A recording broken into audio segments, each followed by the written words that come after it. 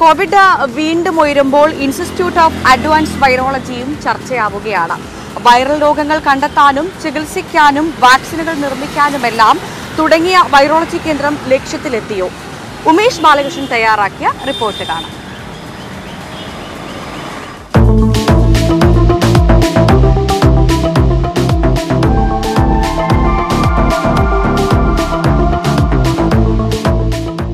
സിക്കയും നിപ്പയുമെല്ലാം പൊട്ടിപ്പുറപ്പെട്ടപ്പോൾ പ്രഖ്യാപിച്ചതാണ് കേരളത്തിന് സ്വന്തമായൊരു virology institute.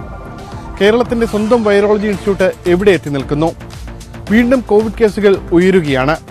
പ്രതിരോധ പ്രവർത്തനങ്ങൾക്ക് നേതൃത്വം നൽകാൻ കേരളത്തിന്റെ സ്വന്തം ഇൻസ്റ്റിറ്റ്യൂട്ട് ഓഫ് അഡ്വാൻസ്ഡ് വൈറോളജി ഉയർന്നു കഴിഞ്ഞു.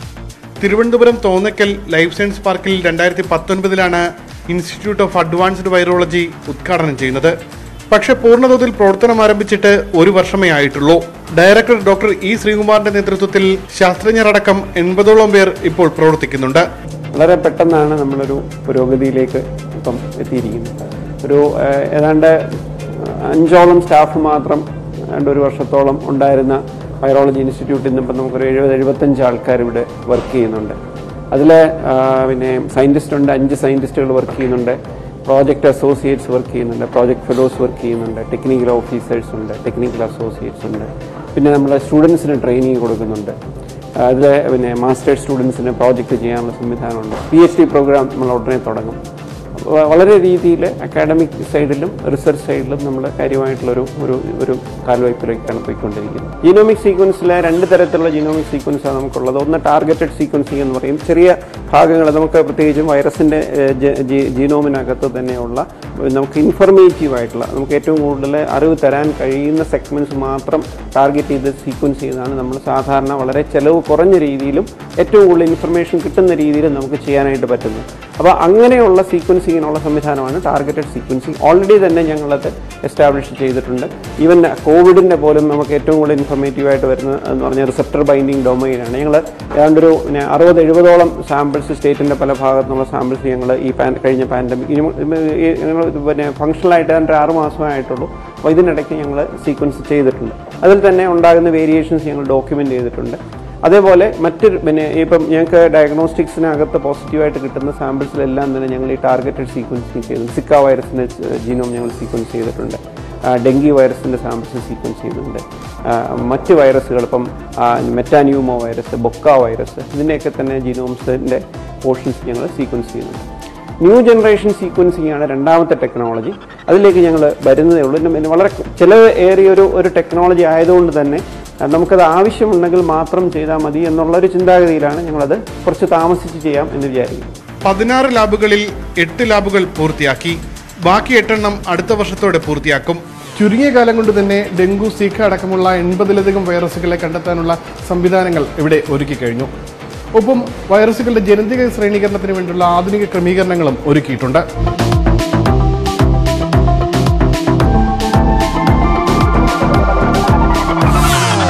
ഇതോടൊപ്പം സംസ്ഥാനത്തെ വൈറോളജി പരിശോധനകളും ഗവേഷണങ്ങളും എളുപ്പമാക്കും വിധം ബി എസ് എൽ ത്രീ ലാബുകൾക്കുള്ള മറ്റൊരു വിഭാഗത്തിന്റെ നിർമ്മാണവും ഉടൻ ആരംഭിക്കും.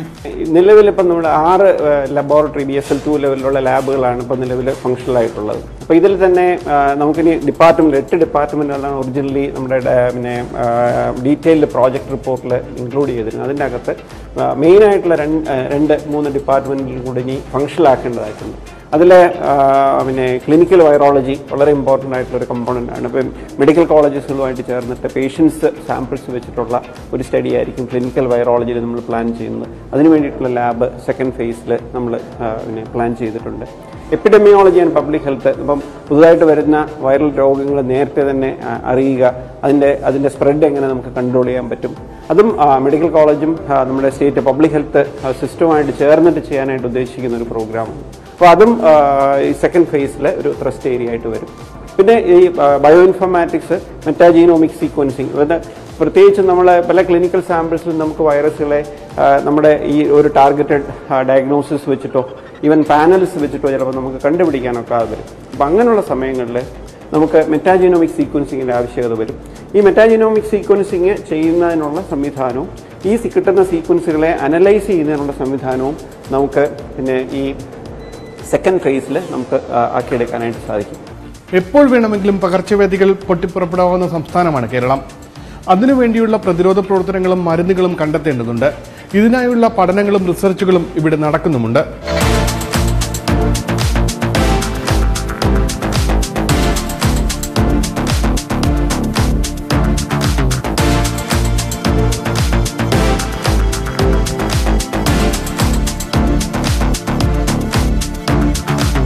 ആധുനിക സുരക്ഷാ സംവിധാനങ്ങളും ലാബുകളിൽ ഉറപ്പു തരുന്നുണ്ട്.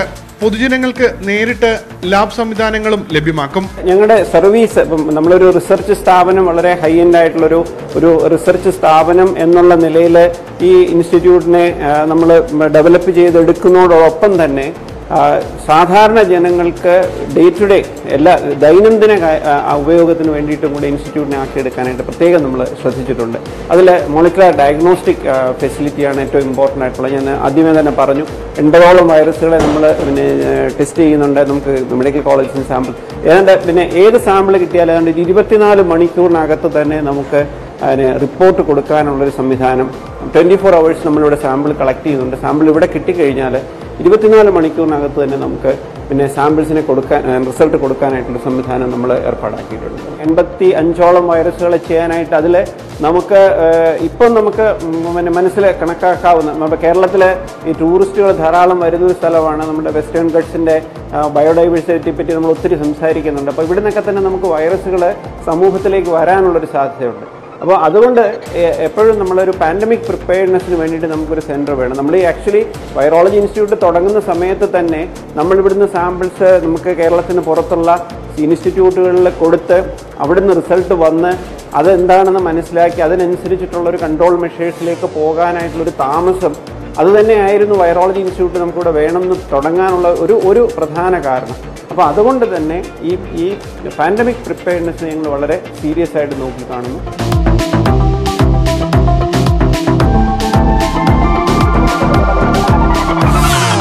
നിർമ്മാണം പൂർത്തിയായ അഡ്മിൻ ആൻഡ് ബയോടെക് ലാബിന്റെ ഉദ്ഘാടനം ഈ മാസം പത്തൊൻപതിന് നടക്കും.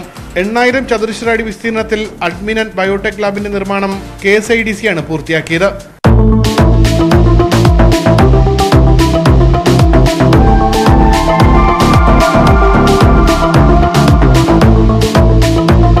ഇൻസ്റ്റിറ്റ്യൂട്ട് ഓഫ് അഡ്വാൻസ്ഡ് വൈറോളജി വികസന പാതയിലാണ്. എന്റെ പിന്നിൽ കാണുന്ന ഈ കെട്ടിടത്തിൽ രണ്ടാം ഘട്ട വികസന പ്രവർത്തനങ്ങൾ ആരംഭിച്ചു കഴിഞ്ഞു. Cameraman Arun പാലോടിനൊപ്പം Umesh Balakrishnan news eighteen Thiruvananthapuram. Yes നമ്മൾ മടങ്ങി വരുമ്പോൾ നമുക്ക്